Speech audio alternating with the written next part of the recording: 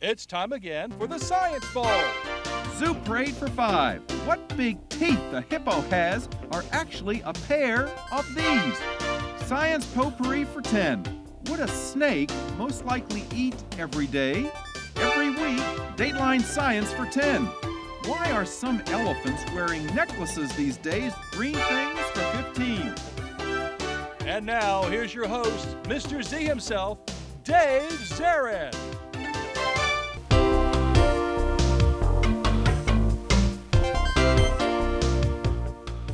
Thank you and welcome to the Science Bowl, the science quiz program here in the Prince George's Schools where we bring together outstanding elementary and middle school students and test their science literacy. Test your own and see how many of these questions you can answer today. Today, two great middle schools playing our game. Let's meet them right now. First from G. James Gholson Middle School, say hello to Jeff. Hey Jeff, Nice to have you here today. Their captain is Lydia is with us. Lydia, yes, she is going to do a great job. And Fidelis is here too, also a great player. And Thomas Johnson Middle School represented by their captain, Charlene. Hey, Charlene. She's been here before on our show when we were virtual during the pandemic. Rahel is back too, another virtual player. Nice to have you here today in person. And Melissa also here. Hey, Melissa, also nice to have you back.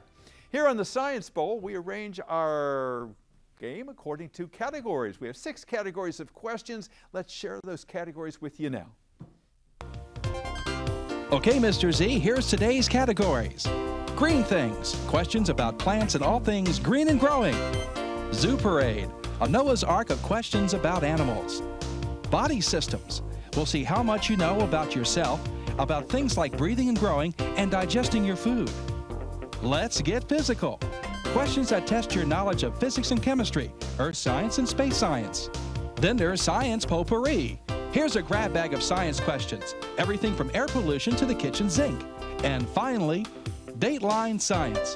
We'll ask you about science history and science in the news.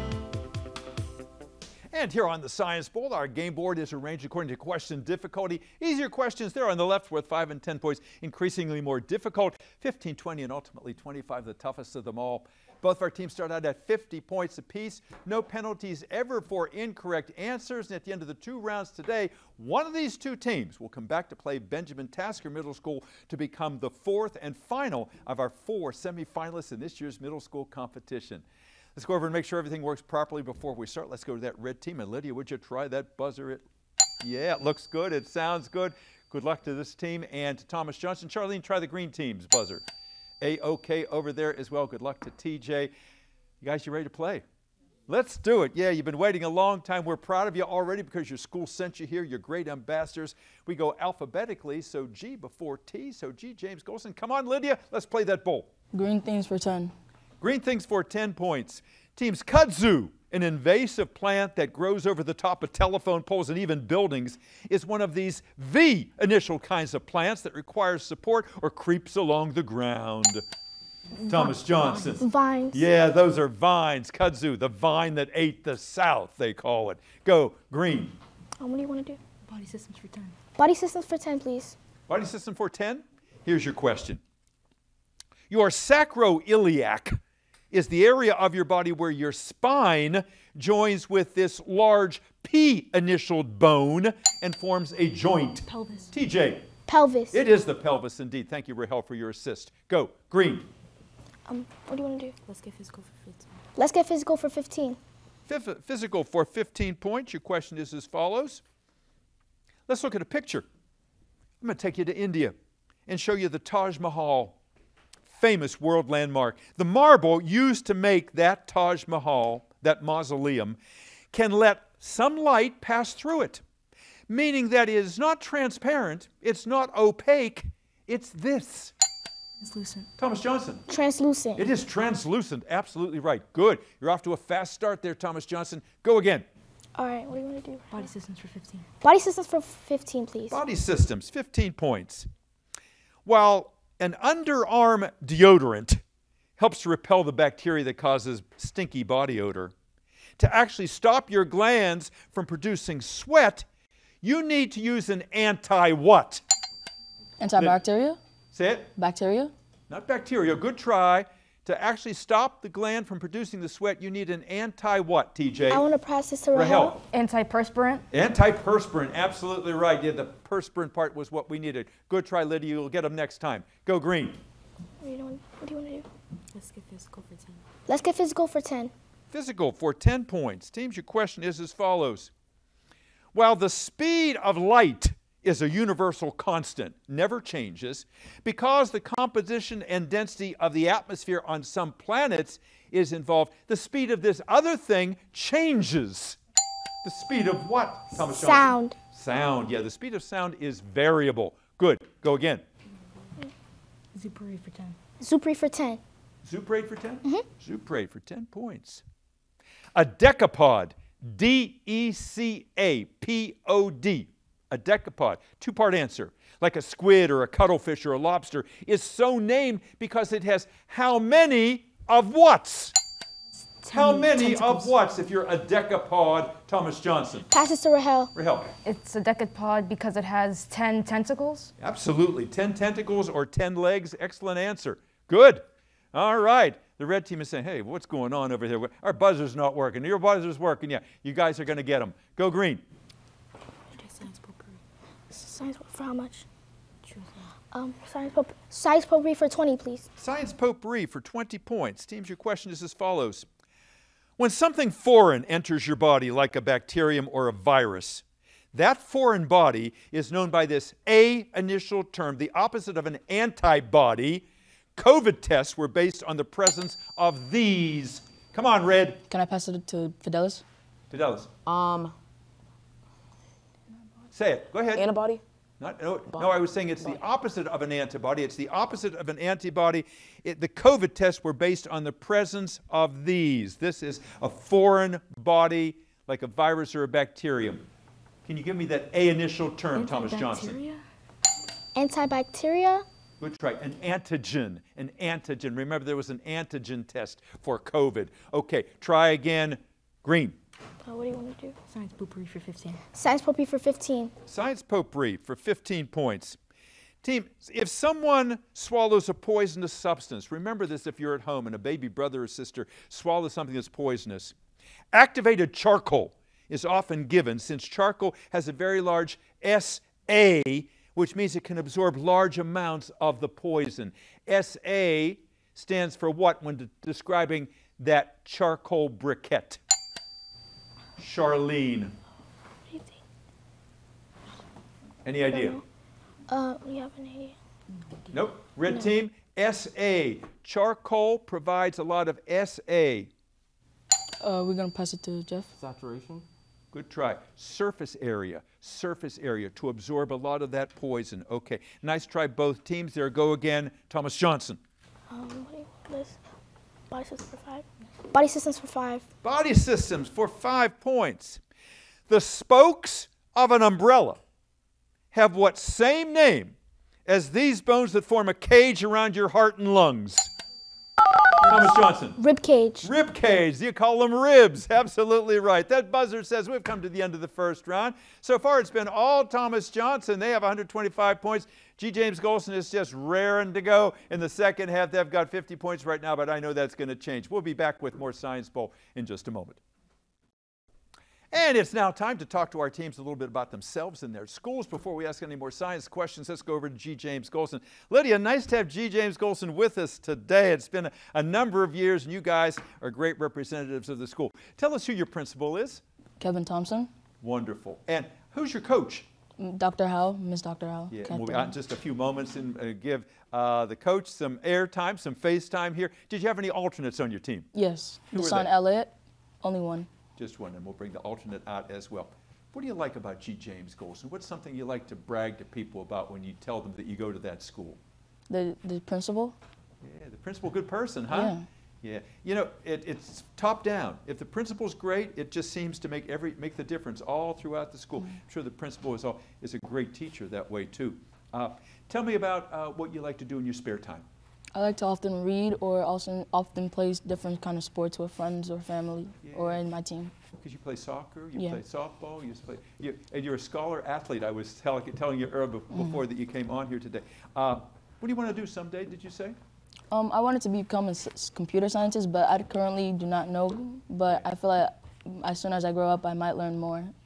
Yeah, sometimes you know you don't know what you want to be when you grow up, even when you're grown up. You know, it sometimes take a while. It takes a while before that epiphany to hit. But find something you like, and you're surprised that people will pay you to do it.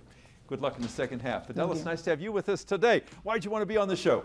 Um, I wanted to be on the show because I like to study science in general. Um, I like the experiments, um, projects, so I think this was a really good fit for me. It is a good fit. That's a perfect way to put it. And would you like to be a scientist someday? Um, I'll think about it, but I really want to be um, a professional chef. Or, or- Because we were talking about that before. You're going to serve uh, people breakfast, right? yeah. Yeah, I can taste those pancakes already. I bet they're good what you make. Yeah. Jeff, nice to have you here today. He's another athlete, scholar athlete, a soccer player. And what else do you do in your spare time, Jeff? I also like to study above uh, my grade level mathematics class. I like to study algebra and calculus. Absolutely. And you have a career already planned out. This young man wants to take advantage of a program here in Prince George Schools where you can get a high school diploma and an associate's degree from the Prince George's Community College. And after that, what are you going to do? Uh, become a pediatrician after I graduate from UMD. You got it all planned out. I like your confidence. It's going to happen. It's going to happen. Good luck in the second half here. Thomas Johnson, nice to have you guys here. All had prior experience, so we're back in the studio for the first time in two and a half years, and you guys were here. We played the game virtually, and this is so much better because you're real. We can see you, and you have a team right next to you. Charlene, tell us who your principal is. Um, our principal is Dr. Campbell. She's new, and I really like her. Oh, that's nice. I'm just, she's very happy to hear that too. And who's the coach of your team? Um, Miss Yabez. Yabes, yes. And Miss Yabes has been sending us wonderful teams for many, many years. We thank her, and we thank the coach over at uh, Ms. Howe at uh, Dr. Howe at uh, G. James Gholson. Tell us what you like about your school, Thomas Johnson, Charlene. Uh, so I like the PBS incentives. Like it encourages us to do good, and yeah, prepares us for the future. PBIS, that's positive behavior, you know, and it's Yeah. rewarded and recognized as it should be. What do you want to do someday, Charlene? Um, like I said before, I'd like to be a Supreme Court justice and focus in law, like my father. Wow. Yeah. Wow. So your father's a lawyer? Yeah, he's a lawyer. You want to follow in his footsteps? Mhm. He can be around when you uh, take that oath up there at the Supreme Court someday. Have a great ambition. Nice. Thanks for sharing that. Melissa? Melissa wants to be a chef, among other things, yeah? What do you like to cook? I like to like try different recipes. I tried uh, a cinnamon roll pancake and it was very good. Oh, that sounds great. That sounds great. Would you like to have your own restaurant? Yeah. Yeah, yeah. Well, you, you and Fidelis, you know, could get together. You know, you got uh, cooking in common here. What do you do in your spare time if you're not cooking? Um, I like to draw and I also just like to chillax and like I don't know, just, chill listen out. to Hey, music. that's- being yeah. a kid, that's what it's all about. Enjoy these years. And Rahel, I have to ask, where do you come by all your science knowledge? You seem to know everything.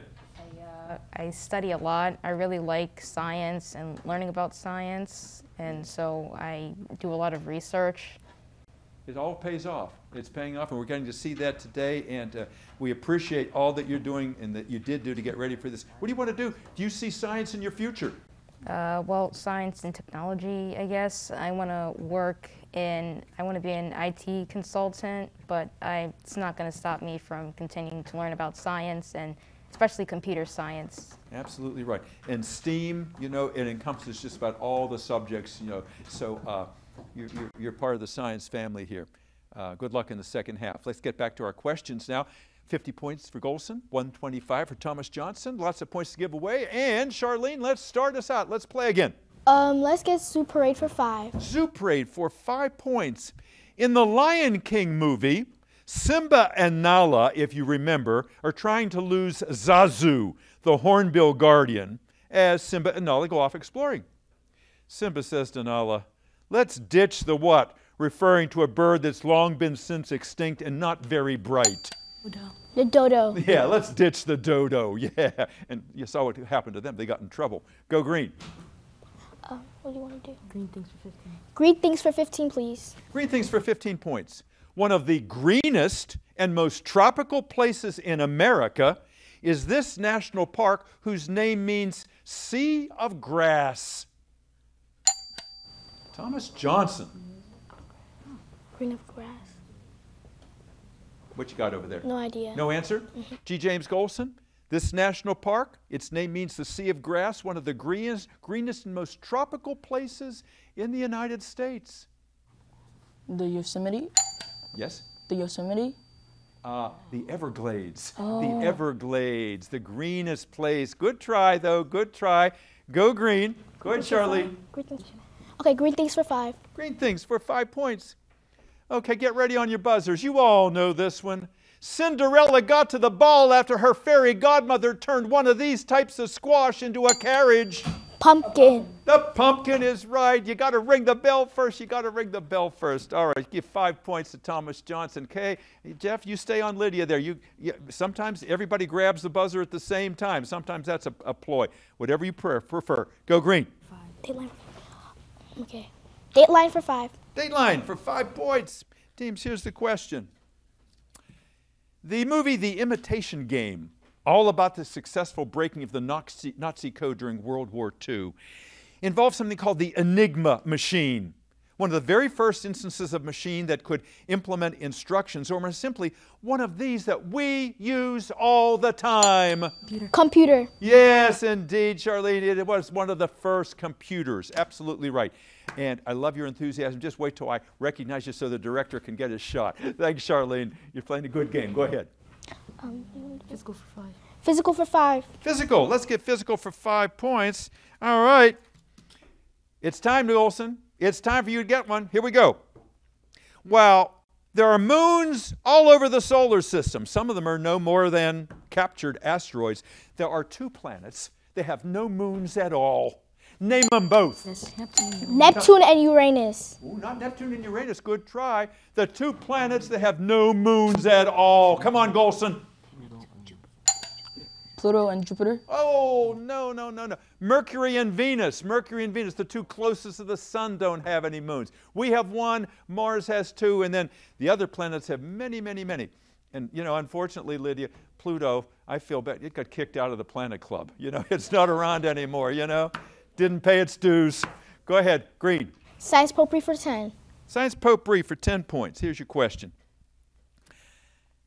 Someone experiencing ADHD, attention deficit what disorder? The H refers to hyper what? Hyperactive. Hyperactive. Oh, hyperactive is right. Thank you, Thomas Johnson. Attention deficit hyperactivity disorder. Yes, indeed. All right, go again, Green. Dateline for 10. Dateline for 10. Dateline, 10 points. Here's your question, multiple choice. The choices are long, but the question is rather simple. Listen carefully. Scientists now say that the tiny arms of the Tyrannosaurus rex, you know how tiny they are? Which might have gotten bitten off when many rexes were feeding on a carcass, kept over the years getting smaller and smaller and became virtually useless. Such a body part that has outlived its usefulness, like our own appendix, is known as which of the following? Ves- tailbone? I'm sorry? The tailbone? No, let me listen. Uh, here are the choices. Which of these choices now describes a body part that has outlived its usefulness? Vestigial, extraneous, or supernumerary? Vestigial. Wait, pass it to Rahel. Vestigial? Vestigial is absolutely correct. Yes, indeed. Yeah, whenever I say multiple choice, just wait for the choice. I, I appreciate you jumping in there. You got to do that, you know, because you want to get some points on the board. All right, TJ, go. Um, Science Potpourri for five. Science Potpourri for five. Potpourri, five points. Here's your question, teams. There are supermoons that occur every year, full moons that are very close to the Earth.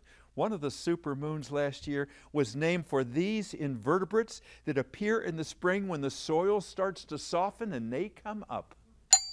Worms. Oh, Worms. Worms, yeah, they call it the earthworm moon. Good, go. Dateline 15. Dateline 15. Dateline, 15 points, multiple choice, multiple choice, listen. A recent issue in a science journal called Vertebrate Paleontology, that's the name of the journal, Vertebrate Paleontology. There was an article about which of the following an ancient relative of the giant panda, the discovery of a new species of tree snail, or the large wingspan of an extinct dragonfly. The panda, the snail, the dragonfly. Which one? Thomas Johnson. Panda. The panda. The panda, because it said an ancient relative of the panda, and it, it said vertebrate paleontology, the only creature there that had a backbone. Good thinking. Good answer. Go. Zoo Parade for 15. Zoo Parade for 15 points. Teams, your question is as follows. There was a pitcher who played for the Los Angeles Dodgers by the name of Sandy Koufax, and he was about to pitch a perfect game. No runs, no hits, no errors. And the announcer up in the booth, he said that the stadium was so nervous, everyone was anxious. He said, There are 29,000 people in this ballpark, and a million of these insects often felt to be moving in our stomachs when we get nervous. Yes, Oh, yes, yes. All right, finally. That's what I got. Good going, red. Go. Um, green things for 20. Green things for 20 points. All right, let's go for two in a row here. Multiple choice.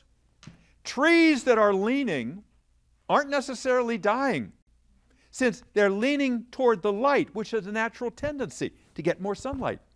Is that tendency to lean toward the light known as which of these three? Phototropism.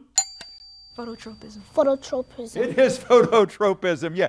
Rahel says, I don't need any more. It's not photoperiodism. It's not photolysis. Good. Green. Up to 200 points. Go, TJ. Huh? Physical for 20. Physical for 20. Physical for 20 points is as follows here. Okay, let's get physical for 20 points.